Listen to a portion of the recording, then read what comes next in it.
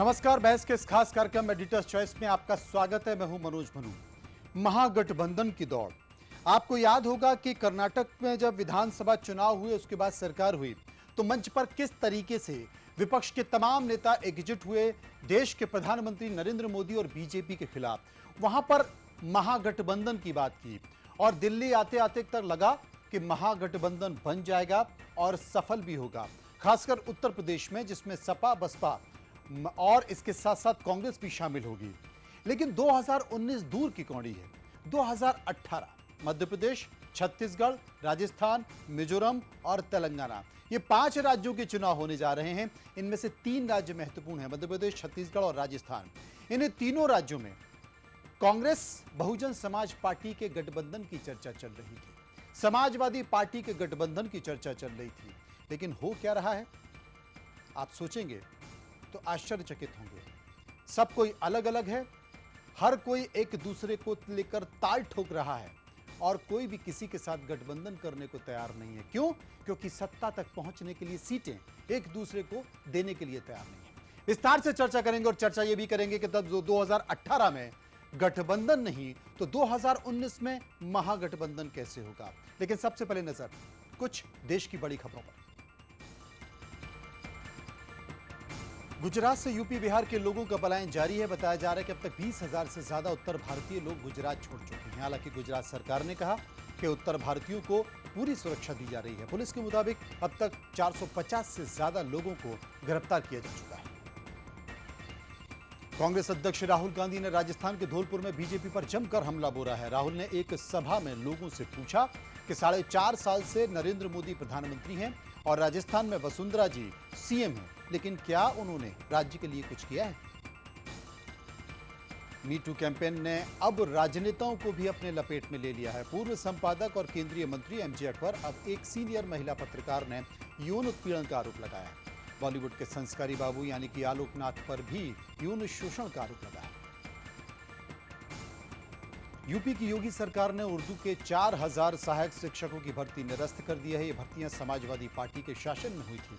सरकार ने इसके पीछे प्राथमिक स्कूलों में मानक संख्या से ज़्यादा उर्दू शिक्षकों के होने का हवाला दिया।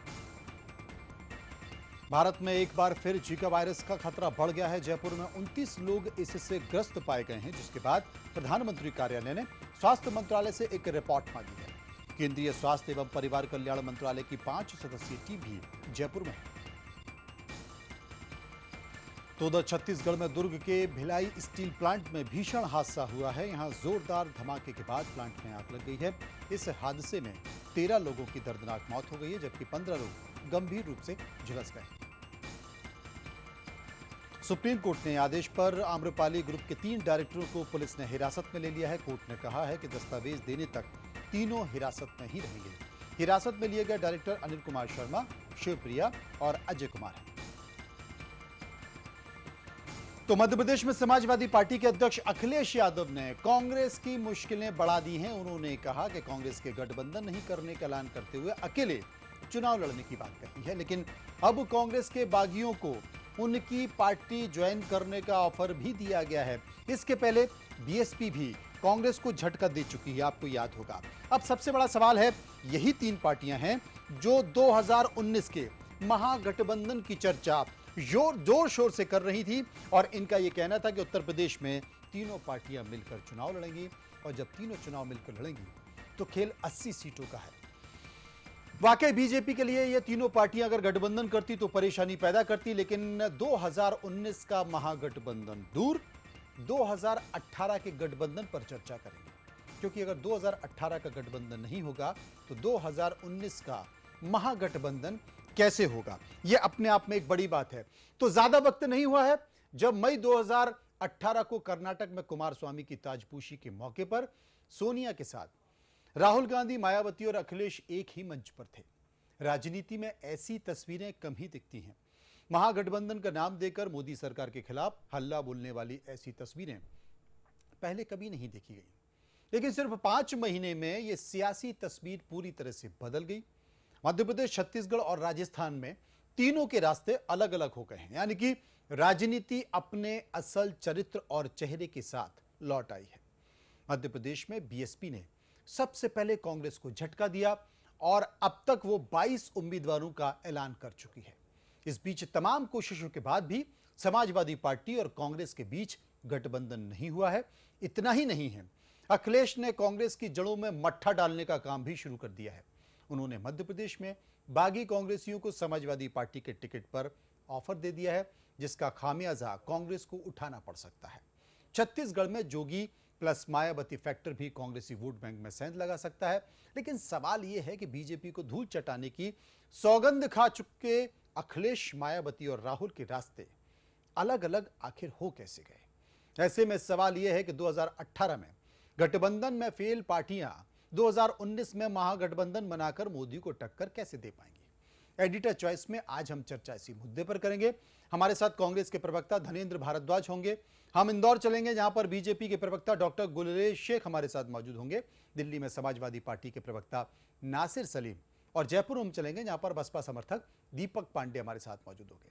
सबसे पहले बात धनेन्द्र धनेन्द्र हम आपसे पूछना चाहते हैं। 2019 का महागठबंधन बात की बात है, जब आप कांग्रेस, सपा, बसपा मिलकर गठबंधन बनाएँगे और देश के प्रधानमंत्री नरेंद्र मोदी को चुनौती देंगे।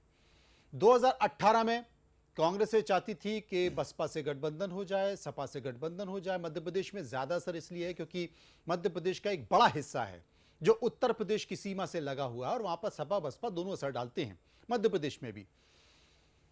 मध्य प्रदेश में अखिलेश ने गठबंधन किया नहीं, कांग्रेस के खिलाफ ताल ठोक दी और बागियों को अपनी तरफ़ आमंत्रित कर लिया।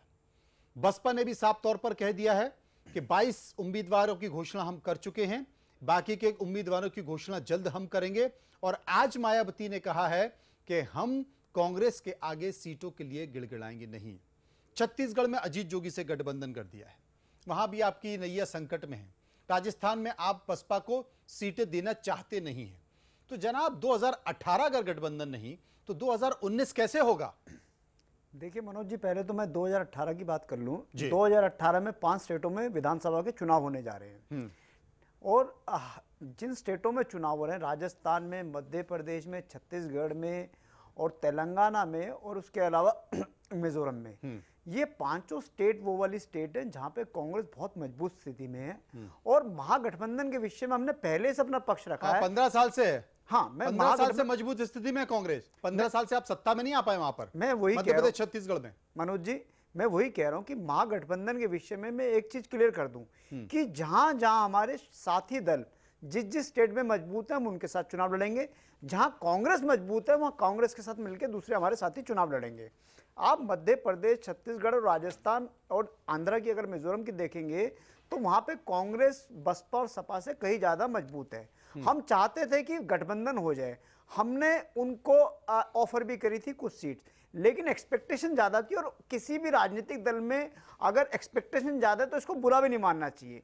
उनकी अपने एक विचार थे कि वो ज़्यादा सीटों पर चुनाव लड़ना चाहते थे और हम उनको जिन सीटों पर कह रहे थे, उन सीटों पर उनसे सहमति नहीं बन पाई। ठीक है, वो चुनाव लड़ रहे हैं, लेकिन इसका मतलब ये नहीं कि 2019 में इस पर कोई असर पड़ेगा।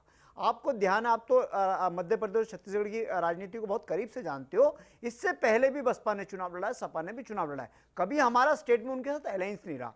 हमारा अलायंस उत्तर प्रदेश में क्योंकि उत्तर प्रदेश में बसपा एक ताकत है सपा एक ताकत है हम उस चीज़ को मानते हैं। और हमने धनेन्द्र साहब धनेन्द्र साहब चाहे वो मध्य प्रदेश के नेता हों या छत्तीसगढ़ के नेता हों सबने ये कहा था कि बसपा से गठबंधन ज़रूरी है। किसी भी कीमत पर होना चाहिए क्योंकि बहुजन समाज पार्टी 36 सीटों पर प्रभाव डालती है।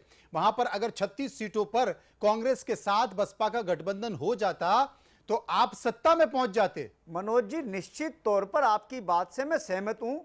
हमारी स्टेट लीडरशिप भी चाह रही थी, हमारी सेंट्रल लीडरशिप भी चाह रही थी।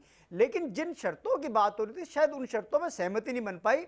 बसपा सपा चुनाव लड़ रही है हमें कोई दिक्कत नहीं है लेकिन ये भी तय है कि हम मध्य प्रदेश में छत्तीसगढ़ में राजस्थान में सरकार बनाने जा रहे हैं। अभी तक के जितने भी सर्वे आए हैं वो सर्वे इस बात का सबूत है कि वहाँ पे भाजपा के कुशासन से लोग त्रस्त हैं। भाजपा के कुशासन को लोग उखाड़ना फेंक उखाड़ के फेंकना चाहते हैं और तीनों स्टेटों में हम मजबूती से सरकार बनाने जा रहे हैं। साहब कोई फ़र्क नहीं पड़ता। चुनाव लड़ रहे हैं। शेख साहब कोई फ़र्क नहीं पड़ता चाहे अखिलेश ताल ठोके या मायावती धमकी दें। कांग्रेस वहाँ पर जीत रही है सरकार बना रही है इसलिए गठबंधन नहीं।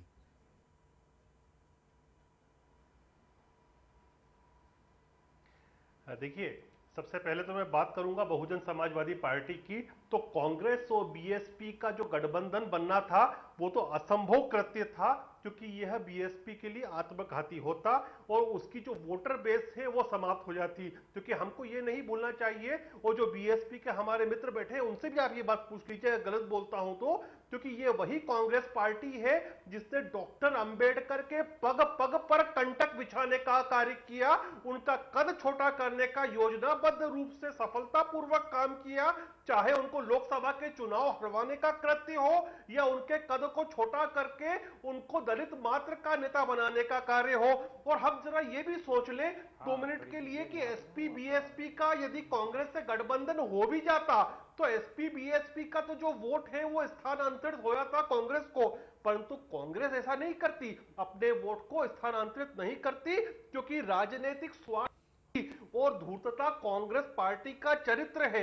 और आप मायावती जी के प्रेस वार्ता को सुने तो वह तो स्पष्टता कहती हैं कि कांग्रेस हमको खत्म करना चाहती थी। और जो अखिलेश जी ने भी कहा कि जिन लोगों को कांग्रेस से टिकट नहीं मिले, वो हमारे समीप आ जाए, हमारी पार्टी में आ जाए, उसका कारण है। क्योंकि उत्तर प्रदेश में जब चुनाव था तो अखिलेश जी ने कांग्रेस पार्टी को उसकी औकात से अधिक सीटें दे दी थी, परंतु कांग्रेस मध्य प्रदेश में उससे आधा करने को भी तैयार नहीं है और एक उक्ति है कि प्रसिद्ध उक्ति है कि जो डूबता जहाज़ होता है, उसमें से तो चूहे भी कूद निकलते हैं। तो ये मायावती जी और अखिलेश जी तो देश के बड़े राजनेता हैं। और आज के समय में राहुल गांधी एक ऐसे भस्मासुर हैं कि वह जिसके ऊपर भी कांग्रेस का हाथ रख दे, उसका भस्म होना निश्चित है। आप पश्चिम बंगाल में देखें, लेफ़्ट का क्या हुआ? उत्तर प्रदेश में आप देखें, अखिलेश यादव का क्या हुआ? या तमिलनाडु में आप देखें, डीएमके का क्या हुआ? और मैंने तो तीन तीन माह पहले ही अपना राजनीतिक विश्लेषण दिया था। जब राहुल गांधी ने इफ्तार पार्टी रखी थी तो उसमें न माया बरसी थी न उसमें ममता किसी को आई थी न कोई वहाँ पर मुलायम बन के आया था। इसलिए मैंने कहा था दिलीप पांडे साहब दीपक पांडे साहब दीपक पांडे साहब मैं आपसे पूछना चाहता हूँ क्या ऐसे ही महागठबंधन होगा 2019 का? जी जी।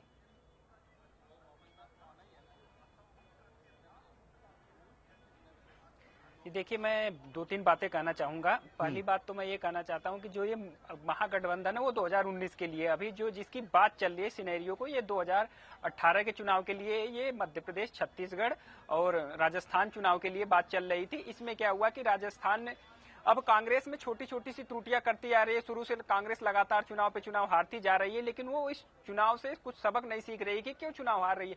गुजरात में चुनाव हारी वहाँ का बीएसपी का बीएसपी का मार्जिन रेशियो देखा जाए और कांग्रेस के हारने का देखा जाए तो काफ़ी कम अंतर में अगर वो गठबंधन रहता तो शायद वहाँ पे सरकार सत्ता बना रहती।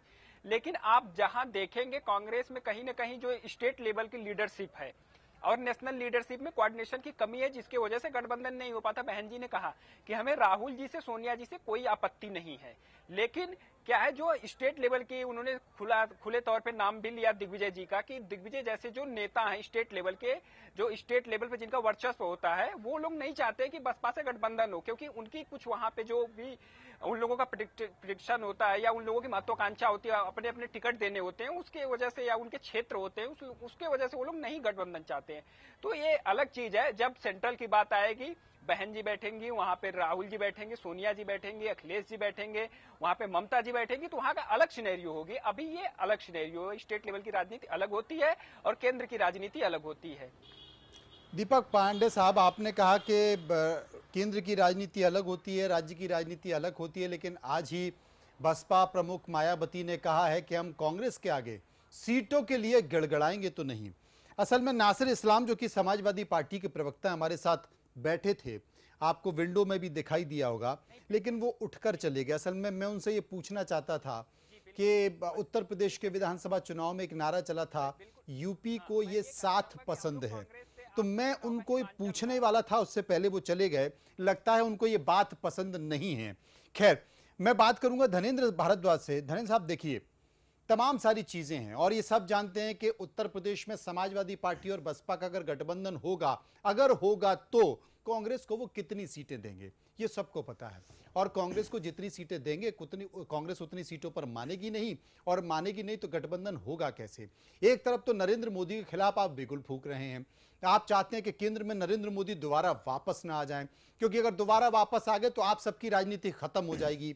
और दूसरी तरफ़, आप अपने मतभेद नहीं बुला पा रहे हैं। यानी कि दो सीटें, चार सीटें मुझे कम मिल जाएँ लेकिन एक बड़े एजेंडे के तौर पर, बड़े कैनवस के तौर पर हम आगे बढ़े, वो आपसे हो नहीं पा रहा। तो नरेंद्र मोदी जो कहते हैं कि यह सब सत्ता की लड़ाई है, यह प्रधानमंत्री पद की लड़ाई के लिए सब आगे बढ़े जा रहे हैं और भागे जा रहे हैं, वो सही है? गलत क्या है? हाँ मनोज जी पहले तो मैं महागठबंधन की जो चिंता भारतीय जनता पार्टी के हमारे साथी जता रहे हैं उनको कहना हूँ कि वो अपनी चिंता जता करें कि किस तरीके से राजस्थान मध्य प्रदेश और छत्तीसगढ़ की हार को रोक सकते हैं। महागठबंधन हमारा तय है निश्चित तौर पर होगा इसकी रूपरेखा इसका जो आ, पिक्चर है वो शेप बहुत जल्दी आप लोगों के सामने आ जाएगी। मैंने पहले भी कहा था कि राज्य के चुनाव जब तक पिक्चर सामने आ जाएगी तब तक पिक्चर फ्लॉप हो चुकी होगी। नहीं मनोज मनोज जी। अगर ये तीन बड़े राज्य हैं अगर ये तीन बड़े राज्य में कांग्रेस हार जाती है और बीजेपी जीत जाती है तो पिक्चर देखने का टाइम फिर किसी के पास है नहीं। मन... कर दिया आपको आपके ऊपर साइकिल चला दी है जी, अखिलेश यादव ने और आप किससे गठबंधन राजनीति में परसेप्शन बड़ी चीज़ होती है? मानस बड़ा चीज़ होती है। मनोज जी मैं भाजपा के अपने साथियों को कह रहा हूँ थोड़ा धैर्य से मेरी बात सुन ले। हमारे महागठबंधन को लेके ज़्यादा परेशान मत हो। आपकी परेशानी ये होनी चाहिए कि वसुंधरा राजे जा रही है वो कैसे रुक सकती है? शिवराज सिंह चौहान को कैसे रोका जा सकता है? रमन सिंह को कैसे रोका सकते हैं? आपकी तीन स्टेटों में सरकार जाना निश्चित है क्योंकि डिलीवरी के नाम पे आप ज़ीरो रहे हो। आपकी जो दिखाने के दांत और खाने के दांत अलग अलग हैं। देश के लोगों ने आपका चरित्र देख लिया। आज जिस तरीके से उत्तर भारतीयों पे गुजरात में जिस तरीके से आक्रमण हो रहा है जिस तरीके से उत्तर भारतीयों को डराया जा रहा है जिस तरीके से उनको पलायन पे मजबूर किया जा रहा है आपको अपने गिरेबान में झांकना चाहिए। आपके बड़बोले प्रधानमंत्री जो हर छोटी छोटी बात का पे ट्वीट करते हैं आज वो शांत बैठे हुए हैं। आज उनकी तरफ़ से कोई ट्वीट नहीं आ है रहा। आज उत्तर भारतीयों के दर्द को समझ नहीं रहे। आज उत्तर भारत पहले जो आप एबीपी और सी वोटर के सर्वे की बात कर रहे हैं। अरे गुलजार जी मैं उसकी बात नहीं कर रहा। मैं तो उस सर्वे की बात कर रहा हूँ जो मध्य प्रदेश का राहुल गांधी तो राजस्थान का बच्चा बच्चा कह रहा है। आज आप जाके देखिए आप तो वहाँ बैठे हो। तो 10% आप जाके लोगों से पूछिए कि लोग आपके कुशासन से तंग आ चुके हैं। आपके मामा जी का कुशासन जो है वो लोगों के ऊपर अत्याचार की तरह बढ़ा है। आज व्यापम से लेके जितनी मौतें व्यापम में जिस तरीके से घोटाला हुआ आपके मुख्यमंत्री की पत्नी साधना सिंह की वीडियो कन्वर्सेशन है ऑडियो कन्वर्सेशन है, आप लोग पूरी तरह से एक्सपोज हो चुके हो और मध्य प्रदेश के लोगों ने आपको मध्य प्रदेश के लोगों ने तय कर लिया कि आपकी विदाई करनी है। मंदसौर में निर्दोष किसानों पे आप गोली चलवाते हो, आप दिल्ली में किसान आपसे अपना हक मांगने आता है, प्रधानमंत्री के पास टाइम नहीं प्रधानमंत्री पे लाठीचार्ज कराते वाटर कैनल कराते, आँसू गैस पिलवाते अरे, देश के किसानों से आपने वायदा करा था, मैंने वायदा नहीं करा था कांग्रेस ने वायदा करा था उनकी जो लागत है उससे पचास प्रतिशत दिए जा रहे आज भी किसानों की खुदकुशी हो रही है। उसकी खुदकुशी का जिम्मेदार कौन है? मात्र छह। आज आप चेक कर ले कि हमने कहाँ तक ले गए। नहीं आप तो देखिए अर्थव्यवस्था को आज चौहत्तर रुपए पे डॉलर पहुँच गए। आप लोग वही लोग हो जब साठ रुपए डॉलर होता था तब हल्ला मचा देते थे। आज इकोनॉमी की क्या हालत है? आज हर पैरामीटर्स पे आप नीचे जा रहे हो। था उसका इंस्टीट्यूशनल प्रतिशत था मात्र 22 परसेंट। हम उसको परसेंटेज से पेट नहीं भरता। परसेंटेज से पेट नहीं भरता। पेट भरता है सस्ती दालों से सस्ती सब्ज़ी से। आज महँगाई की क्या हालत है? आज इन्फ्लेशन रेट कहाँ है? आज इंडस्ट्रियल ग्रोथ नीचे एग्रीकल्चर ग्रोथ नीचे इकोनॉमिकल ग्रोथ नीचे हर पैरामीटर्स पे आप नीचे जा रहे हो और आप देश के लोगों को कह रहे हो कि आंकड़ों से पेट भर लो। 400 मिसाइल्स का बानवे रुपए लीटर पेट्रोल बिकता है अस्सी रुपए लीटर डीजल बिकता है बेशर्मी की है तो भी सरकार की बातों को मान लिया है तो अगर आपकी बातों को मान ली मान लिया जाए तो ये माने कि कांग्रेस को प्रचार की ज़रूरत है ही नहीं इतनी परेशानी है। अगर कांग्रेस घर पर भी बैठी रहेगी तो जनता इतनी त्रस्त है कि भारतीय जनता पार्टी की सरकार चली जाएगी और आप सत्ता में वापस आ जाएँगे। हम चलते हैं पांडे साहब के पास। हम उनसे हम पूछना चाहते हैं, पांडे जी, एक चीज़ बताइए। आपको भी पता था कि मध्य प्रदेश, छत्तीसगढ़ और राजस्थान में राजस्थान में उतनी ज़्यादा ज़रूरत नहीं है, लेकिन फिर भी अगर बहुजन समाज पार्टी कांग्रेस को सपोर्ट कर देती या कांग्रेस का सहयोग कर देती या या गठबंधन हो जाता तो भारतीय जनता पार्टी के लिए वाकई परेशानी होती। लेकिन ये सब जानते हुए भी आप छत्तीसगढ़ में अजीत जोगी के साथ चले गए, यानी कि कांग्रेस के दुश्मन के साथ चले गए और आपका गठबंधन होते ही वहाँ पर बीजेपी प्रसन्न हो गई। और तमाम लोग ये कहने लगे कि अरे, ये तो बीजेपी की बी टीम हो गई है। मध्य प्रदेश में भी वही स्थिति हो रही है। अखिलेश यादव, वैसे तो महागठबंधन की बात कर रहे हैं, राहुल गांधी के मित्र हैं, लेकिन वो कांग्रेस के बागियों को संदेश दे रहे हैं कि अगर कांग्रेस में आपको टिकट नहीं मिलता है तो आप समाजवादी पार्टी में आइए और आके चुनाव लड़िए। आपको नहीं लगता कि बसपा को ये सब करना चाहिए? आपने 20 कैंडिडेट खड़े कर दिए और बोल दिया कि जल्दी पूरे मध्य प्रदेश में बसपा अपने कैंडिडेट आप तो ब्लैकमेलिंग कर रहे हैं।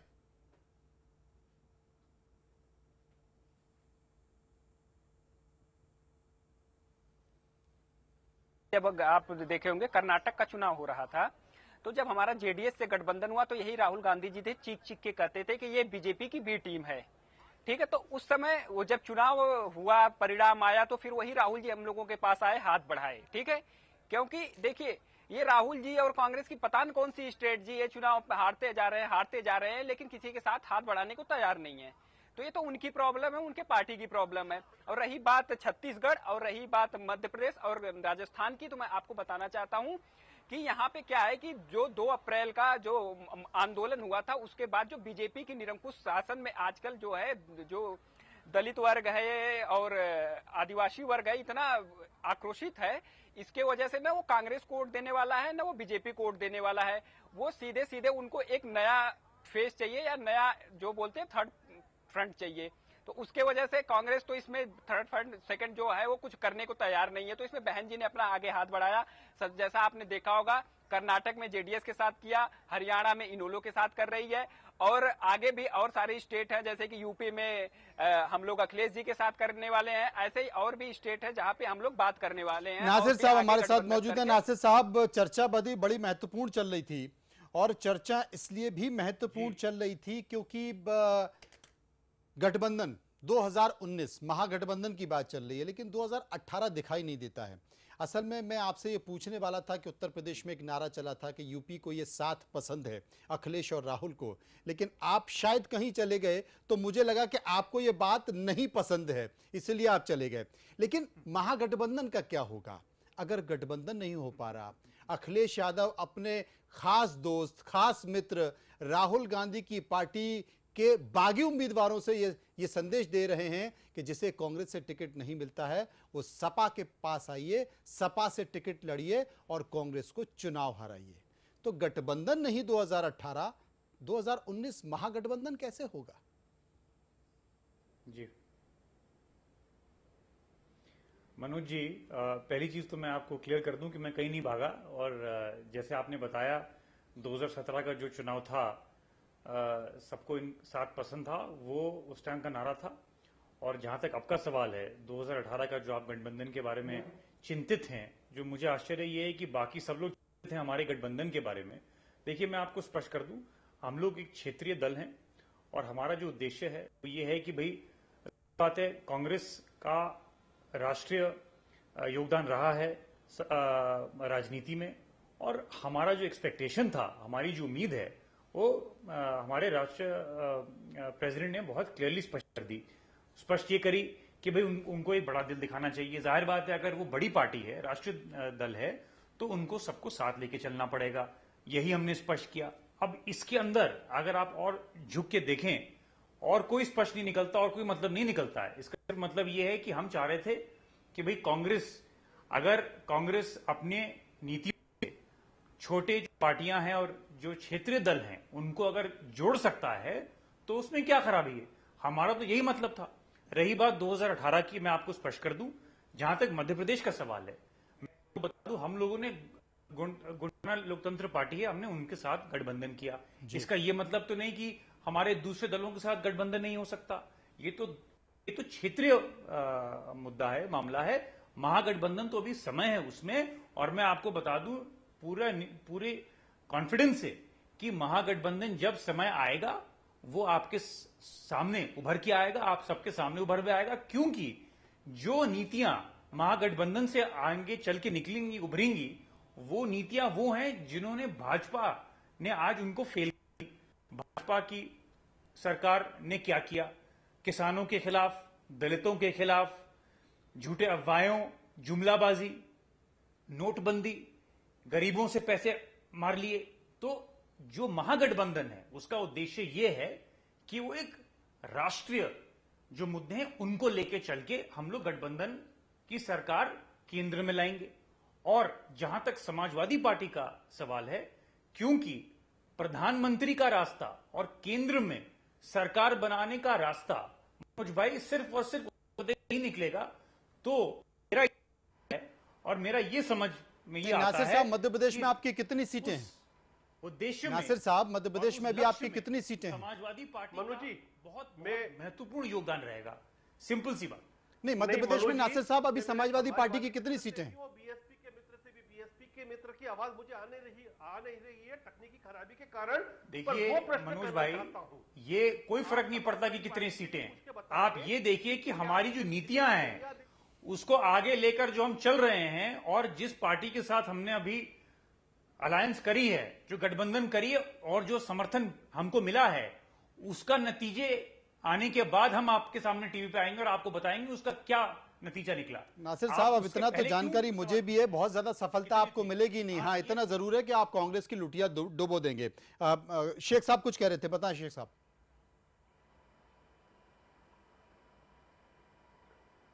देखिए मुझे बीएसपी के मित्र की आवाज़ नहीं आ रही है टेक्निकल प्रॉब्लम के कारण लेकिन मैं उनसे प्रश्न करना चाहता हूँ आपके माध्यम से कि क्या ये वही कांग्रेस नहीं है जिसने डॉक्टर भीमराव अंबेडकर जी के साथ बहुत बुरा किया, उनका खूब शोषण किया, उनका उनका पतन करने का पूरा प्रयास किया, और यदि आप उनके साथ किसी प्रकार का महागठबंधन बनाते हैं तो क्या डॉक्टर भीमराव अंबेडकर के साथ आप गद्दारी नहीं करेंगे? और दूसरी बात, मेरे समाजवादी मित्र से पूछना चाहता हूँ मैं कि जितनी दरिया दिली, अखिलेश यादव जी ने सीटें देने में कांग्रेस के साथ की थी, क्या कांग्रेस आपके लिए इतना कर रही है मध्य प्रदेश में?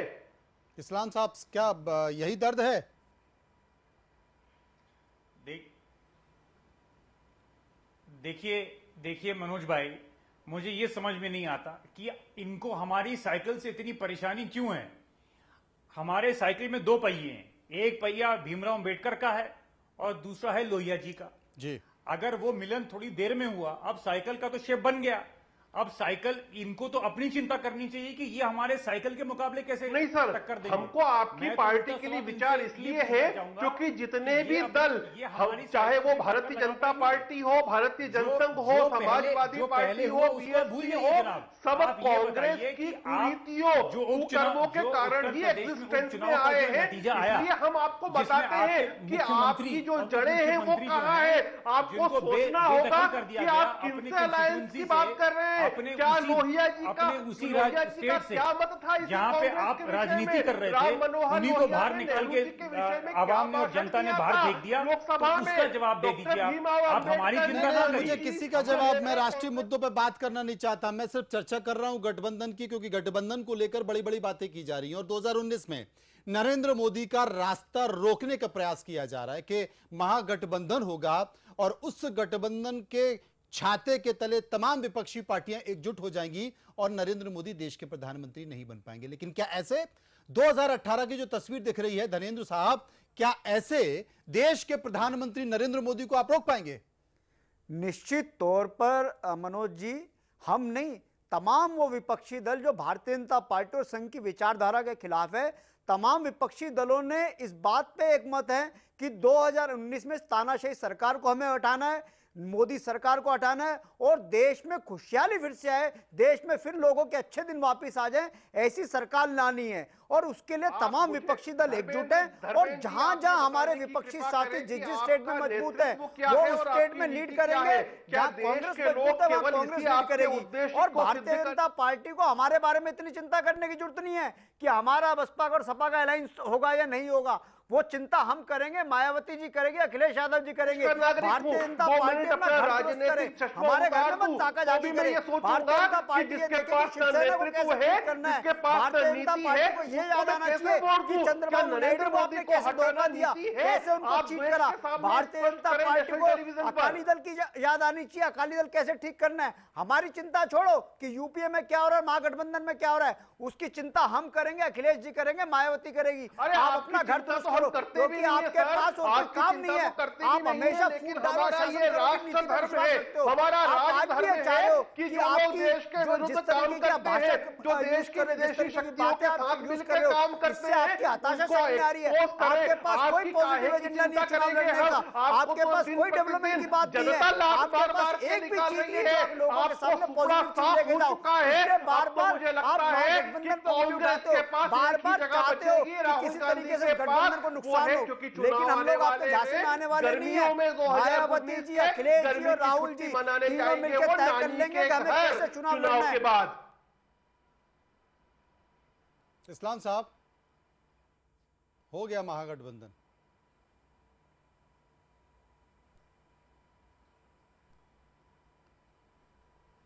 लोग आपके रोज के रोज आए मंत्री उत्तर प्रदेश के आए मंत्री आए मंत्री दिन मनु आप जी, पे मैं एक आके विवादित बयान दे रहे हैं आपके पार्टी के खिलाफ जितनी भी पार्टियाँ बनी आज तो तक भारत में स्वतंत्र भारत में वो सब सबके सब बनी है क्योंकि कांग्रेस की पूरी बुरी भावना बुरे। कृत्यों की वजह से तो फिर ये लोग आज कांग्रेस के साथ कैसे मिल सकते हैं? जिस कांग्रेस को अपोज करते करते मुलायम सिंह यादव जी ने फिर वही वाली बात। अरे आप अपना पॉजिटिव बताओ कि आपके पास क्या एजेंडा है चुनाव में? आप हमारी चिंता छोड़ो हमारी इतनी तो चिंता क्यों कर रहे हो? आप चिंता करो का आपको कैसे वापिस आना है। आप अपनी चिंता करो। गठबंधन बात छोड़िए, देखिए, मैं बताना क्या चाहता करना हूँ वो डिसाइड हम करेंगे। क्या हुआ? गोरखपुर का पार्टी थोड़ी चुनाव हुआ? करेगी हुआ? चाहे कांग्रेस की कैराना का रणनीति हुआ क्या चाहे रहेगी, नूरपुर बसपा का हुआ रहेगी, सपा की बिना क्या रहेगी, गठबंधन के वहाँ पे opposition बस की क्या एक हम लोग पार्टियों के बात बताओ पंद्रह साल से समझौते की वजह से वहाँ की सारी सीटें बीजेपी हार गई। पे आओ चर्चा इसके बाद भी अगर बीजेपी को लगता है कुछ वो है उनका ओवर कॉन्फिडेंस है जो उनको जैसे लगा 2004 में अटल जी के बाद। अटल जी को लग रहा था कि तो फिर से रिटर्न करेगी सरकार लेकिन आज तक नहीं कर पाई। ऐसे मोदी जी का भी होगा उन्हें लग रहा है लेकिन ऐसा कुछ होने वाला नहीं है। कैसा कुछ नहीं होने वाला? कैसा कुछ ये बीजेपी ओवर कॉन्फिडेंस है। और बसपा?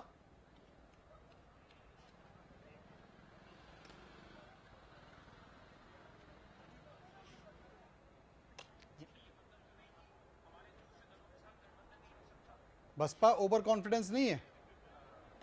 मध्य प्रदेश में 50 सीटें मांग रही है। पांडे जी। देखिए बस बसपा बसपा का अपना एक एजेंडा होता है अपना वोट बैंक होता है। देखिए, बसपा के लिए सारी पार्टियाँ होती है। बसपा का जितना होता है, वर्चस्व है, उसके हिसाब से अपना वो रखती है, उतना अपना कायम रहती है। बसपा का कोई ऐसा, आप जैसा हवा हवाई न वादा होता है ना, हवा हवाई कोई बात होती है। बसपा का कभी मैनिफेस्टो नहीं आता कि मैं पंद्रह लाख रुपए दे देंगे आपके अकाउंट में, दो करोड़ नौकरी दे देंगे आपके अकाउंट में, हम आएँगे तो एक सर के बदले दस सर लाएँगे। और ये कभी नहीं बसपा कहती है कि हम आएँगे तो ऐसा करेंगे। ऐसा कोई झूठा वादा बसपा नहीं करती है, न जनता से करती है, न अपने कार्यकर्ताओं से करती है। ये झूठा छलावा बीजेपी का है, और झूठा छलावा करके आप एक बार आ सकते हैं, दोबारा नहीं आ सकते हैं। ठीक है? तो नासिर साहब नासिर साहब एक एक सवाल मैं आपसे पूछना चाहता हूँ। नासिर साहब एक सवाल मैं आपसे पूछना चाहता हूँ। लाजमी भी है। क्या बात बन पाएगी? 2018 में बयानबाजी तो हो रही है। लेकिन अगर वाकई आपको बीजेपी को हराना है तो एक मंच पर बैठकर बात बन पाएगी? क्योंकि देखिए ये सेमीफाइनल है और जनता को ये दिखाई देता है कि जब ये राजनीतिक गठबंधन एक दूसरे से सौदेबाजी कर रहे हैं। टिकटों की मारामारी हो रही है कि मुझे इतने टिकट, तब मैं गठबंधन करूँगा, नहीं दोगे तो नहीं दूँगा, ताल ठोकूँगा। तो ये मानस बनाने में बड़ी परेशानी होती है। पब्लिक को ये लगता है कि अरे जनाब, ये तो सौदेबाजी हो रही है। ये देश हित और प्रदेश हित की बात नहीं है। गलत गलत संदेश जाता है।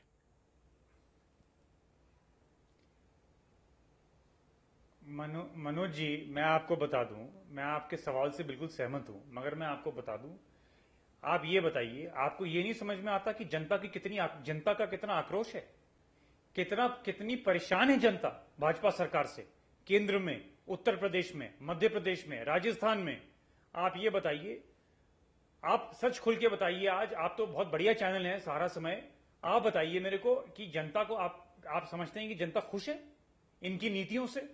जनता परेशान है इसलिए वो जो हमारी जो हमारा लक्ष्य है क्षेत्रीय दलों को साथ लेकर चलना उसके बलबूते पूरा का पूरा गठबंधन सक्सेसफुल रहेगा और बहुत खुशी से आगे बढ़ के चलेगा और आप इसका रिज़ल्ट 2019 के चुनाव में आपको दिखेगा सामने आके। देर तो नहीं हो मैं आपको ये भी स्पष्ट कर दूँ नासिर साहब देर तो नहीं हो जाएगी।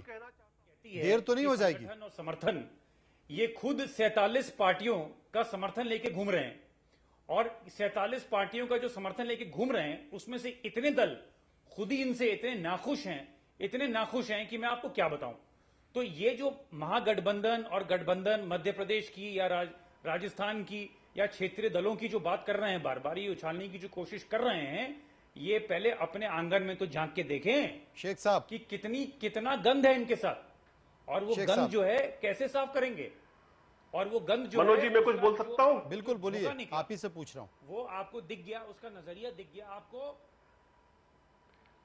देखिए जहाँ तक कि ये मेरे मित्र कह रहे हैं कि लोग दुखी हैं लोग दुखी नहीं है केंद्र की सरकार की वजह से ये लोग दुखी हैं और ये लोग दुखी इसलिए हैं क्योंकि भारत जो है विश्व की छठे नंबर की सबसे बड़ी अर्थव्यवस्था बन चुकी है। आज भारत में भारत ने जीडीपी के स्तर पर चीन को पीछे छोड़ दिया है। आज हम कोम कासा की मदद से चीन के दांत खट्टे कर रहे हैं। आज Bharat S four missiles America के सेंक्शन के दबाव के बाद भी हम खरीद रहे हैं। विश्व में हमारा कैसी बातें कर रहे हैं सर? चीन का तो पैसा चीन का जो चीन का जो जीडीपी है वो तो कब का वैसे ही गिरा हुआ था? अगर आप चीन अगर आप चीन से कंपेयर करेंगे जीडीपी तो वैसे ही आप आप तो हार ही गए इसका मतलब। आप तो मान गए कि आप हार गए। क्योंकि चीन करते हैं क्योंकि और हम लोग क्योंकि 90 चीन प्रतिशत देश की जनता के लिए तो कार्य बहुत करते हैं। इतना बुरा हाल इकोनॉमी का, आप क्या बात कर रहे हैं? आपको यही तो नहीं पता समाजवादी पार्टी ने यदि 50 सीटें मांगी थी कांग्रेस से तो कुछ भी गलत नहीं किया था क्योंकि यहाँ पर तो कांग्रेस की स्थिति इतनी शिथिर है कि कोई भी इनका एक नेता शिखंडी बनना नहीं चाहता था, इसलिए पाँच पाँच प्रदेश अध्यक्ष बनाना पड़े हैं कांग्रेस पार्टी को। और आपके स्टूडियो जब आ रहा था मैं तो रास्ते में एक बच्चा भागते हुए गाड़ी के सामने आ गया, अपनी माँ का हाथ छोड़ाकर सौभाग्य से बच गया। उसकी माँ क्या बोलती है? अरे भैया, क्या ये कांग्रेस, ऐसा लगता है कि इस पे कांग्रेसियों का साया पड़ गया है? मेरी बात नहीं सुनता। तो ये तो मनोभाव है जनता का कांग्रेस के प्रति। धनेन्द्र जी बड़ा गंभीर बात कह रहे हैं ये शेख साहब। तो ऐसा लग रहा है जैसे सपा के और बसपा के प्रवक्ता के रूप में बात कर रहे हो। इनको सब दुख दिक्कत है इनको सारे दर्द है। अरे सपा को क्या चाहिए था? सबसे बड़ी बात आप लोग जो पानी पी पी के बसपा को और सपा को कोसने वाले आज आप कह रहे हो अखिलेश जी बहुत बढ़िया आदमी है मायावती जी बहुत बढ़िया नेता हैं। आपने माना तो सही कम से कम अखिलेश जी और मायावती जी की लीडरशिप को मैं फिर कह रहा हूँ नहीं, मैंने ये कभी नहीं कहा। अपनी पार्टी की चिंता करो हमारी चिंता मेरे भाई मैंने ये कहा हमारा मैंने गठबंधन हो जाएगा बात जब की हो जाएगा आपको बता देंगे बात की आप सिद्धांत के ऊपर ही करो, तरह का मैं गलत के तो लोगों से बड़े मैंने बड़े ये कहा आपने कि करे थे, हमारे समय थे। में जितने भी देश में दल बने हैं वो कांग्रेस के कुकर्मों की हाँ, देन है कांग्रेस के कुकर्मों के कारण पैदा तो हुए हैं रही है। मुलायम सिंह जी जीवन भर उनके गुरु जो थे लोहिया जी। वो जीवन भर कांग्रेस को शर्म पानी नहीं आ रही। के कोसते रहे कह रहे तो हो साथ ग्रोथ कर रही है। सकते हैं कैसे वो वास्तव ग्रोथ में कर जो सकती आप है? आज चुम्बालीस पार्टी बन गए हैं अली बाबा चालीस सौ बनने वाले हैं कुछ दिनों में उससे नीचे होने वाले हैं उसका कारण ये है कि आप लोगों के पाप का घड़ा भर गया है और आपका पेट इसलिए दुखता है क्योंकि आपके ऊपर आपकी जो चोरी थी नरेंद्र मोदी ने बंद कर दी आपका जो सब्ज़ी चाहिए, रिश्वतखोरी थी वो नरेंद्र मोदी ने बंद कर दी नरेंद्र मोदी ने नॉर्थ ब्लॉक और साउथ ब्लॉक सरकार क्या कर रही है? जो गरीबों दल्ले पे जो अत्याचार आपने करे, इस देश के गरीब की हाय आपको लग चुकी है। जब गरीब रोता है, शेर बन के भारत माता का सर ऊपर किया है और गरीब रोता है तो अच्छे अच्छा का सियासन खो जाता है इस देश के गरीब की हाय आपको लगी नरेंद्र मोदी को लगी भारतीय जनता पार्टी को लगी है। इस अच्छा, देश का गरीब इस देश का दलित इस देश का पिछड़ा इस देश का शोषित इस देश का आदिवासी इस देश का किसान इस देश का नौजवान इस देश की महिलाएँ की 2019 में आपको आईना दिखाने जा रही है। काम किया था 2019 में भारतीय जनता पार्टी फिर उसी स्थिति में पहुँच जाएगी जो उन्नीस मैं थी। दो सांसद भी आपके जीत के नहीं आएँगे। क्या इटली के माफिया या इटली की जो इंटेलिजेंस है उसने कई देशों की नासिर साहब एक सवाल एक अंतिम सवाल मैं आपसे पूछ रहा हूँ। क्या अभी भी गुंजाइश है?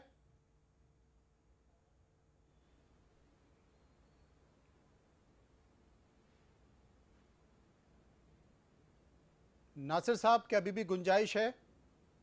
ये बात खत्म हो गई। अब ये साथ पसंद नहीं है। नहीं बिल्कुल गुंजाइश है। देखिए मैं आपको बता देता हूँ जहाँ तक गठबंधन का सवाल है वो तो गुंजाइश ही गुंजाइश है। आप बता दीजिए गुंजाइश क्यों नहीं रहेगी? जब पार्टियाँ एक दल हम लोग सब इकट्ठे मिलके भाजपा के खिलाफ लड़ रहे हैं, क्योंकि हमारा निशाना बिल्कुल सीधा भाजपा सरकार के और केंद्र सरकार की नाकामियों पे है, और जो नाकामयाबियाँ दिख रही हैं, उसी पे है तो गठबंधन क्यों नहीं हो सकता? है बिल्कुल हो सकता है। और गठबंधन 2019 में रहेगा नाकामी दिख रही है आपको? देश प्रगति कर रहा है आपके सामने। जी थोड़ी सी शर्म कर लो थोड़ी सी शर्म कर लो। आज आपके केंद्र सरकार के मंत्री एमजे अकबर पे इतना बड़ा आरोप लगा है। और आप लोग तो नेतृत्व की दुहाई देते हो। बहुत बड़ा जब तक पब्लिक हराना दे तो शर्म किस बात की? लेकिन इतना ज़रूर है कि भारतीय जनता पार्टी देश के लोगों के सामने एक मानस बनाने पर कम से कम कामयाब तो हुई है कि देखिए हम सत्ता के लिए इस कदर नहीं गिरते कि गठबंधन को लेकर जो कल तक साथ थे, अब अलग अलग दिखाई दे रहे हैं और विपक्षी पार्टियों को भी समझना होगा कि अगर उन्हें बीजेपी को हराना है तो सत्ता की बंदरबाट जनता तक नहीं दिखाई देनी चाहिए। और गठबंधन सिर्फ़ कमरे तक हो, उसकी जो रस्सा कसी है, वो कमरे तक हो, बाहर निकल के सब एकजुट दिखाई देना चाहिए, वरना जनता है, वो सब जानती है। फ़िलहाल इस पूरी पर चर्चा में मेरे साथ तमाम लोग मौजूद रहे, उनका बहुत बहुत शुक्रिया। खबरों के सफ़र में इतना ही, बाकी की खबरों के लिए आप चलते रहिए समय